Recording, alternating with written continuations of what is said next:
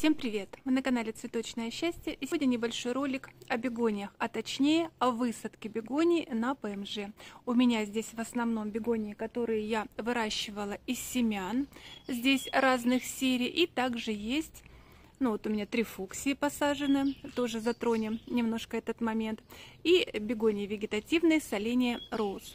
Сегодня в ролике расскажу, как я высаживала, какой объем кашпо выбрала, сколько растений на одно кашпо и самое важное, какой грунт я приготовила для бегоний, для того, чтобы они росли, развивались. И вот пока показываю вам зону навеса по плану, что бегонии у меня будут расти здесь. Мы все знаем, что они не любят яркого открытого солнца. Это зона навеса, здесь бегонии. Э, лучики доходят утренние, но в основном они в полутени. Пока посмотрю на развитие.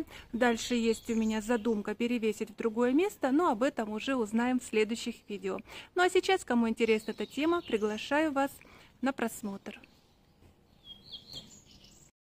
Для удобства несколько кашпо сняла, расположила на столе. Для тех, кто впервые зашел на мой канал, коротко скажу, что я живу на Ставрополе. У нас уже далеко не весна, можно сказать лето. Температура 28-30 градусов.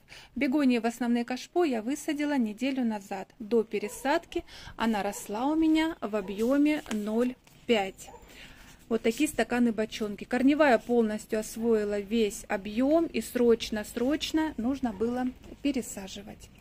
Выбрала для пересадки вот такие кашпо 6 а, литров. Они с поддонами. Кто обратил внимание, что у меня на полке навеса стоит петуния, это очень важно, что при поливе вода не будет стекать на те растения, которые находятся внизу. Поэтому искала вот такие кашпо. Купила на ВБ, на Wildberries. Они продаются вместе с подвесами. Качество вот этого пластика мне очень нравится. И на каждое кашпо у меня пошло три вот таких растения. То есть из объема вот 0,5 я пересадила три растения. Получается на каждое растение 2 литра. У меня есть еще бегония, конечно, вот сандансер.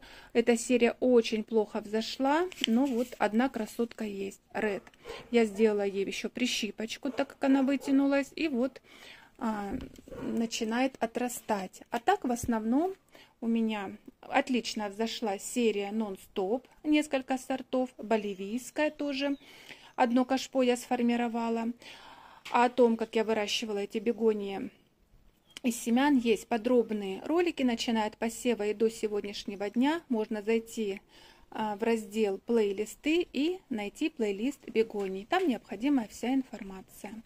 Вот так сейчас расцвела бегония Non-Stop Joy Yellow, вот такой махровый цветочек. Она, в принципе, уже вся набирает бутоны. В свое время была сделана прищипка.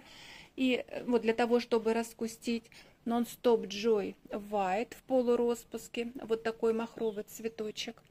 Ну, очень заметно бегония после пересадки пошла в рост. Вот всего прошла неделька, а уже я вижу вот такую разницу. Ну, к сожалению, в силу своей занятости, так как я выращиваю некоторое количество растений на продажу, и у меня сейчас активные отправки, сам процесс пересадки, перевалки я не снимала, потому что в основном занимаюсь это в вечернее, иногда в ночное время.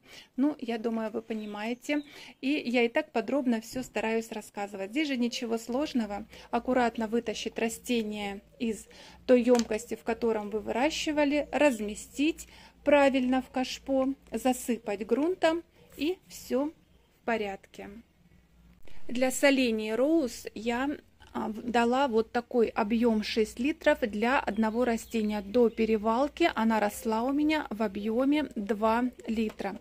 Также есть кашпо с беликонией роуз, тоже вегетативная бегония, но к ней я еще а, вот 5 литров. Вот такое кашпо, она стоит здесь на столе и получает вечернее солнышко вот вместе с бальзаминами. А здесь получается у меня э, три растения ну и вот подсадила бегонию, которую выращивала из семян.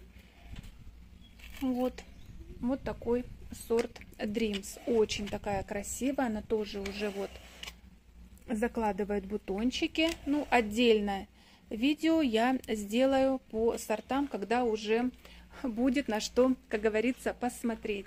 Я понимаю, что в нашу жару крайне сложно вырастить бегонию, но всегда так хочется хотя бы немножко полюбоваться красотой. Пусть не получится прям обильного такого шикарного цветения, но вы знаете, мне даже вот такие единичные цветочки радуют глаз и дарят настроение. Также у меня есть бегония, э, которую я э, тоже выращивала из семян. Вот здесь два сорта, белая и красная. Это серия Dragon Wing. А, значит, я высадила здесь по три кустика на кашпо 8 литров. А, знаю, что для таких бегоний нужен больше объем, но я всегда могу сделать перевалку, если это будет необходимо. Тоже здесь в свое время была сделана прищипка. Вот. И сейчас уже вот активно-активно кустит, кустится и растет. Вот. А беленькая уже даже зацвела. Ну а теперь самое важное, какой состав грунта. По-прежнему основа для составления грунта у меня идет торф агробалт, верховой нейтрализованный в синей упаковке. Он содержит минеральные компоненты. В этом сезоне я решила грунт составить немножко иначе, добавить живую землю от теравита, ну и, как всегда, мох с фагном. По пропорциям 6 частей торфа агробалт, 2 части живой земли от теравита и 2 части мха с фагнума.